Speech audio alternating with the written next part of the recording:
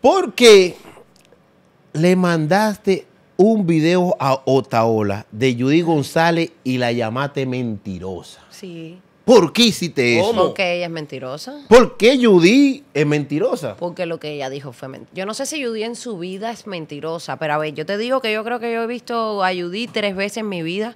La vi dos veces que fui a Mega cuando llegué de Cuba en el 2009 y la volví a ver en un evento precisamente de monólogos de la vagina que nosotros nos encontramos.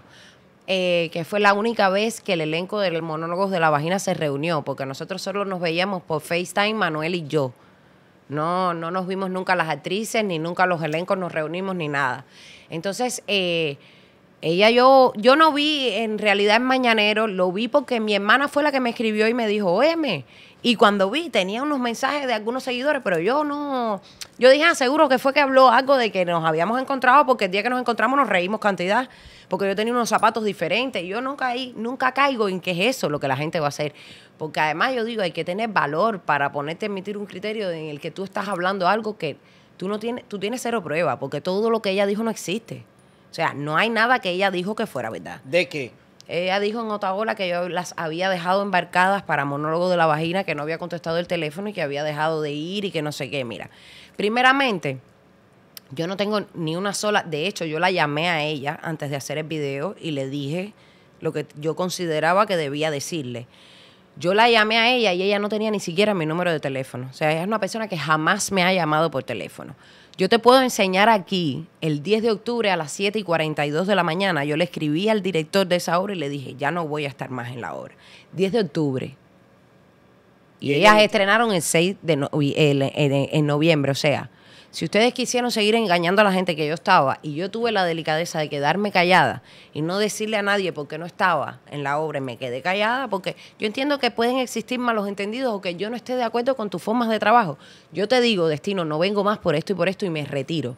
Y lo que yo hablé contigo es lo que yo hablé contigo. Ahora, no puede ser que yo hable contigo y tú vayas mañana a una entrevista y tú digas que yo hice esto y eso, porque en primera es mentira. No es real.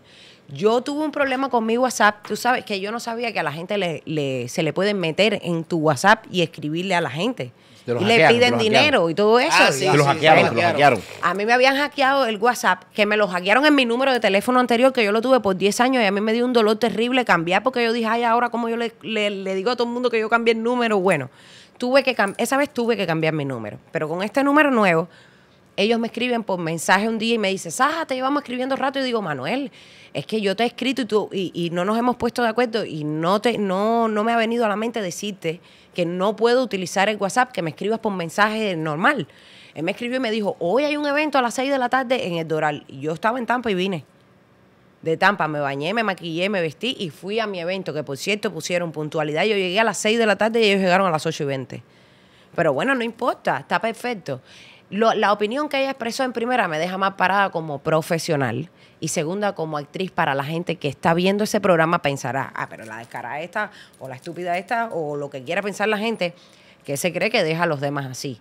No es real, no es verdad. Y lo único que dije fue decir otra ola. Después de haberle aclarado a ella su punto, el que le tocaba a ella, yo hice el video no por chisme ni por nada, yo hice el video para, para aclararle a las personas que estaban viendo en Mañanero ese día la real versión de por qué yo no estaba en esa obra, que no era la que dio ella. Para nada. O sea, tú renunciaste a esta obra, eh, llamaste al director, le dijiste no voy a estar más, pero no le pasaron esa información a lo mejor a ella y es que nunca yo me vi con Judy. Y ella dijo Estoy diciendo que yo me vi con Judy un día. Yo me vi con Judy un día en el Doral, que fue el día además que me enteré que yo iba a actuar con ella. Tú no sabías que iba a Porque eh, los elencos no nos habíamos puesto de acuerdo quiénes iban a ser por fin. Y en la fecha se había corrido la fecha que además yo estaba viendo por fin qué fecha, porque yo tenía el 23 de octubre, tenía Flamingo, y el fin de semana anterior era el que supuestamente me iba a tocar a mí. No se pudo porque el teatro tenía una gotera y lo estaban arreglando. Y dijeron, no tenemos todavía la fecha. Y yo decía, lo único que yo necesito es que me respeten el fin de semana del 23. Pero bueno, a mí no me importó nada. A mí lo que pasa es que me pareció que fue una cosa como muy desorganizada y muy loca. Y yo dije, mira, yo prefiero no estar, ¿eh? Tranquilo, ni te preocupes, no voy a estar. Y ya, le dije a la productora, que fue la primera que me escribió, le dije, voy a escribirle a Manuel para decirle esto. Y eso mismo fue lo que hice. Yo soy una persona que no, es, no soy perfecta ni pretendo serla. Cuando me equivoco, me equivoco, pero no te equivoques tú. Porque cuando yo me equivoco, a mí me corrigen mis errores. Entonces, si te equivocas tú y más conmigo, yo, yo soy la, la única responsable de mi existencia en este mundo, soy yo. Entonces, ¿de ¿qué, ahora que tú te metes, estamos hablando de Judy, entonces tú piensas que la polémica que tiene ella con Alessi, cosas que han salido a, a la luz, tú piensas que Alessi tiene la razón por lo que ella te dijo a ti. Yo no pienso nada porque yo no, nunca participé de eso. Habría que preguntarle a Leslie qué piensa de eso y a ella yo creo que ya lo ha dicho.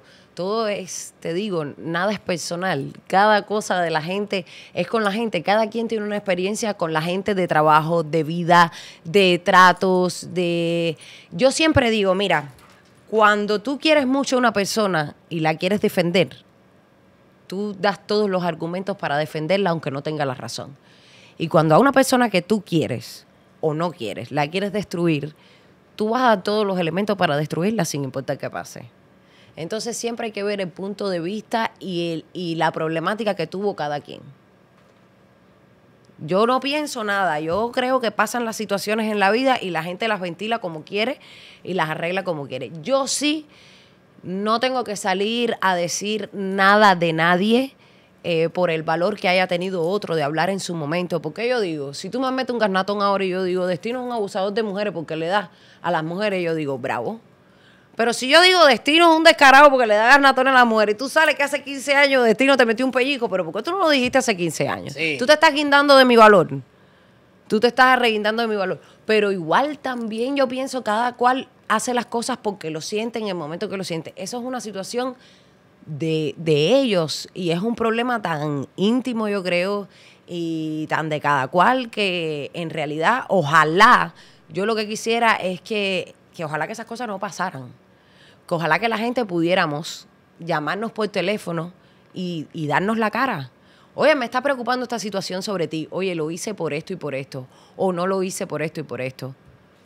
Y sería mucho más fácil. Pero estamos en tiempo digital ahora y todo el mundo aprovecha una brecha para sacarle hasta un problema en estos momentos se, se monetiza y se saca dinero. Está bien y está perfecto. hasta pero, un problema pero en yo estos te digo, tú digitales. puedes, tú gente, puedes. voy a hacer esto. Me, eh, Sahari puedes- me dio una galleta, pero no.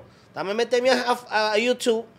Coja para YouTube que Pero voy a eso explicar lo lo que- aplaudo, eso lo aplaudo, porque si tú de una mala situación en tu vida puedes sacar views, seguidores y dinero, te lo aplaudo, está perfecto. Lo que está feo es que yo, que no participo, ni tengo nada que ver con eso, ni tengo entero conocimiento de lo que pasó, me ponga aquí a estar hablando de eso, porque entonces sí es triste. No tengo ni problemas en mi vida para hacerme famosa. Tengo que colgarme el problema de otros para que me vea un poco de gente. Pero no aplaudiste, eh, no aplaudiste eh, la separación de Lola y Yubran, que tú fuiste la causante de esta separación.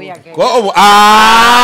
¡Ay! ¡Ay! ¿Cómo? ¿Tienen, No. ¿Tienen una relación ellos? Sí. No. No, Lola, eh, Lola eh, y Yubran estaban juntos. Sí. Entonces apareció Sahari. Ahora ella es la causante de, de toda esta separación. Porque ella tiene una relación con Porque Yubran. yo tengo entendido que tú tienes una relación con Yubran Luna. Yo sí. Tengo una relación con Yubran Luna de hace 11 años. Eh, tenemos una relación hace 11 años, 12 casi, porque Yubran y yo nos conocimos en mayo del 2011, que él estaba acabadito de llegar de España y yo estaba acabadita de llegar de Cuba y coincidimos en el 41, trabajamos, fuimos una pareja de trabajo, éramos Yubran, Cole, Ali y yo, nosotros cuatro. Estábamos, ah, y Vladimir Escudero también. Nosotros cinco estábamos en todos los sketches. Todos los sketches éramos nosotros. Si Ali y yo hacíamos la Casa Fortuna, Yubran y Cole hacían los que entraban. Si hacíamos el cuentacuento, el cuentacuento era Yubran, estaba Vladimir, estaba Cole, porque teníamos un muy buen eh, equipo de trabajo. En esa época, Yubran se hizo novio de Lola primero. Yubran conoció a Lola porque Lola era, era bailarina del 41 y a Sí. Lola le tengo un cariño y a mí me encanta la personalidad de ella. Luego Yubran se peleó de Lola y se empató con Imaray. ¿Cómo? Sí. Y eh, después, bueno, volvieron las cosas para atrás y como siempre, agua pasada no mueve molino, pero para nada. Si a mí me dio una cosa, porque yo viendo Taola me enteré que Imaray le pegó los, los cachos a Yubran. No, no, ¿Cómo? no, no, no, no, yo estaban separados. Ellos estaban separados. Sí. Pero tú me vas a decir a mí que eso empezó el día de la película de Spider-Man. Sí, No, sí, una sí, no, mierda. yo No, pero Lola dijo Eh, aquí. ellos estaban que- separados. Lola dijo aquí que. ¿Quién estaba separado? Y Mara y Yubran cuando pasó ¿Y tú eso. cómo lo sabes? Porque me lo, me lo han dicho los dos y los dos son amigos míos. Me dijeron, estamos separados y yo confío en la palabra de Ah. Dios. ¡Ay! Yo yo sé que estaban separados porque yo soy amiga de Yubran. Pero bueno, yo sabía ya que estaban separados. Igual cuando vi la noticia dije, ¡ay! Me pegó. Porque dije, coño, qué rápido. Y, pero bueno, Yubran enseguida vi que eh, se unió con Lola. Yo creo que Lola es como un cascabel. Lola es una persona que va repartiendo alegría. Yo creo que para el momento en el que Yubran estaba, a él le vino muy bien.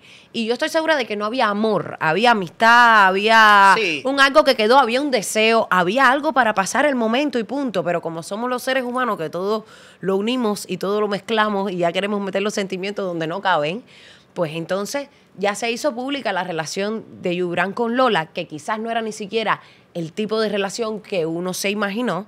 Y a lo mejor ya estaban separados, a lo mejor tenían su acuerdo como pareja, qué sé yo. Y bueno, después yo viendo Tago la vi de nuevo y dije, Pero- pero Pipo, Pero mira, pero mira. lo tuyo no es la cantidad de veces lo seguido, óyeme. Pero, pero mira, eh, Sahari, eh, yo tengo entendido. ¿Cómo?